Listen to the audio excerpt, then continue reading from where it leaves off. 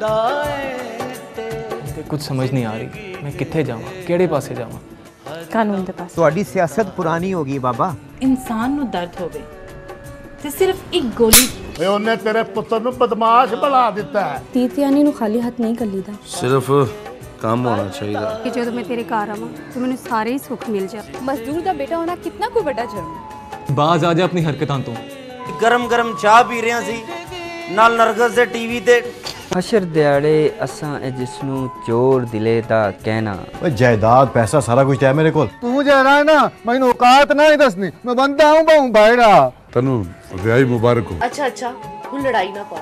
ਸਿਆਸਤ ਵਿੱਚ ਚਾਲਾਂ ਚੱਲਣੀਆਂ ਪੈਂਦੀਆਂ ਨੇ। ਉਹ ਰੋਲਾ ਜਿਹਾ ਮੁੱਕ ਜਾਏ ਨਾ ਮੁਕਦਮਿਆਂ ਤੇ ਕੇਸਾਂ ਦਾ